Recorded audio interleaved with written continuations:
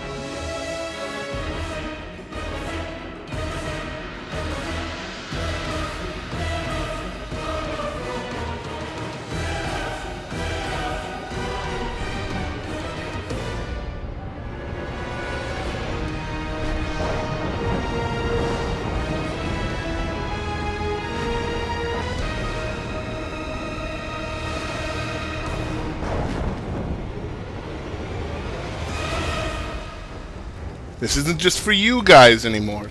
It's for Chuck.